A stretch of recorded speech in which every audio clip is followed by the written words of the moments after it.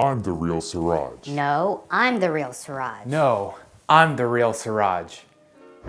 Hello world, it's Siraj, and top research lab OpenAI has recently caused quite a controversy in the AI community. Their new AI model, dubbed GPT-2, is truly remarkable. It's able to generate text that legit looks like a human wrote it, after being given some prompt.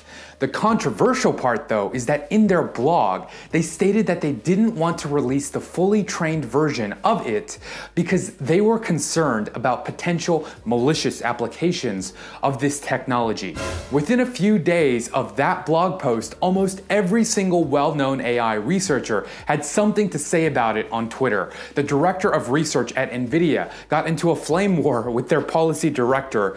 The creator of Keras denounced it as hyping up research. And many articles have now been written about it that make it seem like the Terminator is about to bust out of our computer screens and kill us all.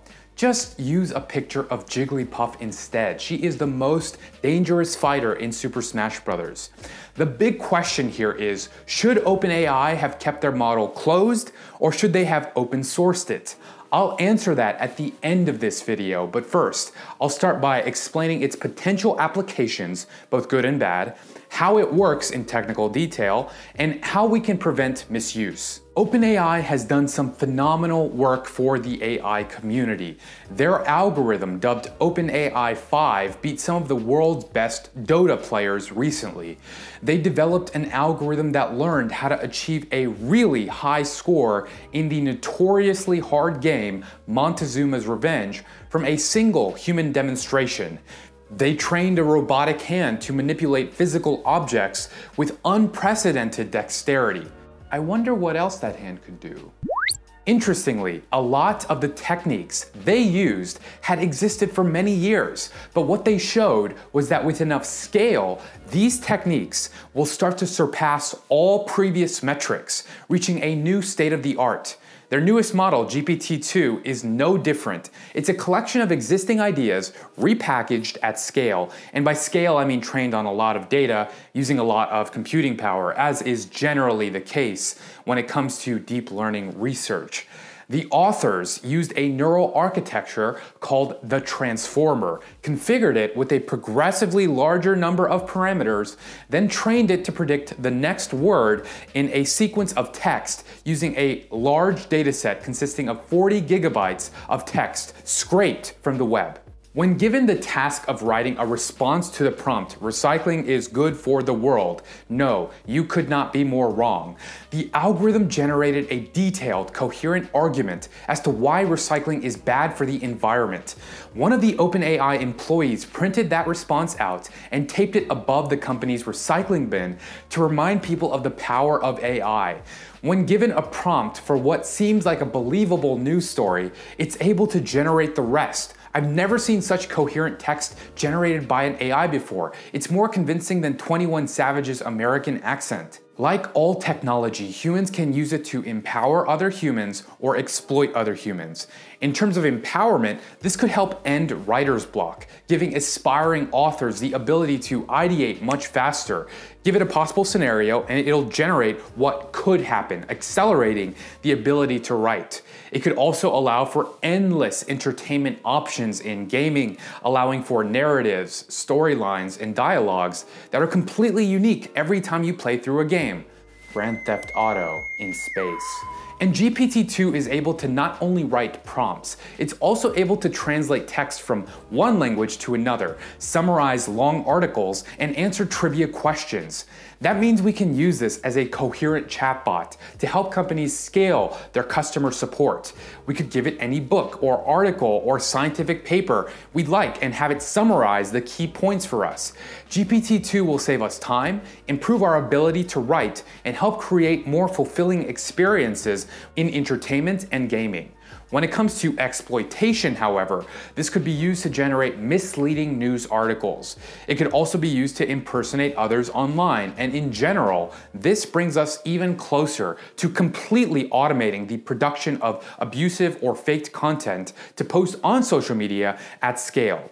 We can be sure it will be used in all the ways I've listed, both good and bad. Propaganda is as old as language itself, and propagandists have used every available technology to scale the distribution of their message. What's different now is that no longer is this kind of power limited to entities like governments with enough money to buy the necessary people and machines capable of spreading their message. Now, anyone, anywhere can do it at scale with a model like GPT-2. Before we discuss ways of preventing misuse, let's discuss how it actually works, starting with, of course, as always, the data. GPT-2 was trained on a huge corpus of links that were scraped from the internet. The researchers collected their training data by using Reddit as a filter. They collected the most upvoted links from Reddit, about 8 million of them, then scraped their text, creating a compact training dataset of about 40 gigabytes in size. They called it web text and extracted the source text directly from HTML responses. Then they needed to decide how to encode the text so that it was in a proper format to perform machine learning on. They chose a technique called byte pair encoding, or BPE, which is used to encode the input sequence.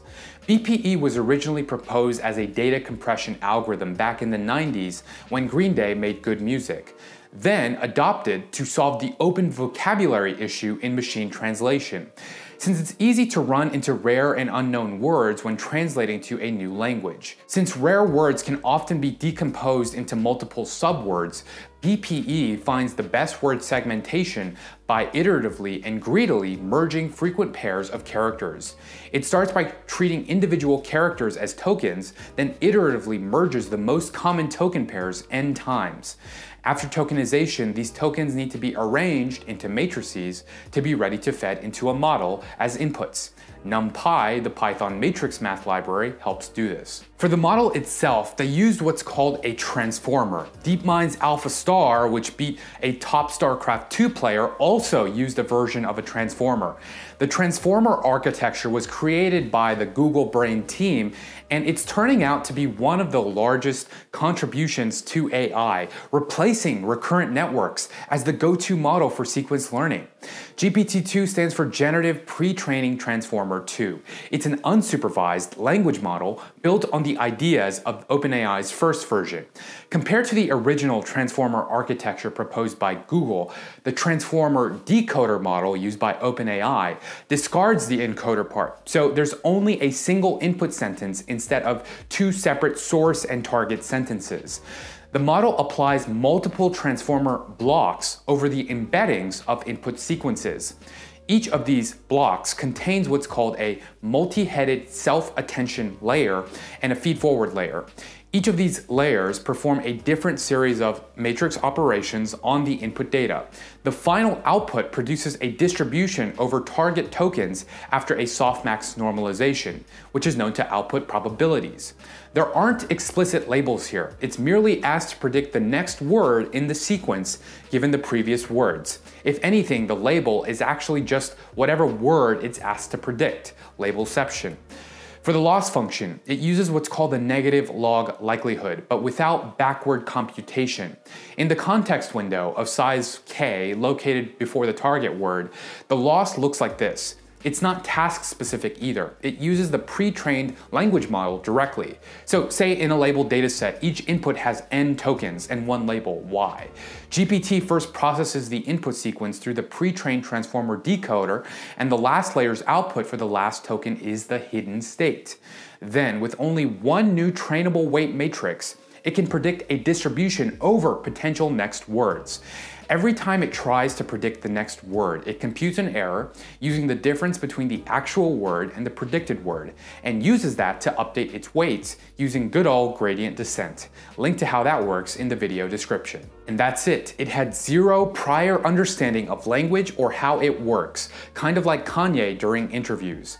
The training data isn't even task specific, but after training on it over the course of a week using several cloud TPUs that likely cost several tens of thousands of dollars, it was able to generate realistic text, summarize articles, translate languages, and to answer questions. So how do we prevent misuse of this kind of technology? a group of Cambridge researchers created a role-playing game that anyone can access in the browser right now called getbadnews.com.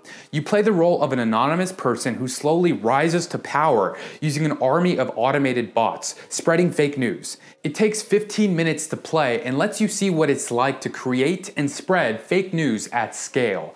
After I played it, I definitely felt like I had a much more critical eye when it came to reading text that I saw online. Educating ourselves on the potential for this technology is one part of the solution. Similar to how when people learned about the potential for Photoshop, they became less likely to be fooled when seeing Photoshopped pictures. The other part of the solution is ironically AI. Yes, using AI to fight AI. I found a tool called FakeBox that uses AI to classify whether a piece of text is real or fake after having been trained on a labeled dataset. It's basic but a really cool demo. You can download and run it pretty fast using using Docker. I gave it the generated GPT-2 text and it classified it as fake, which was pretty cool.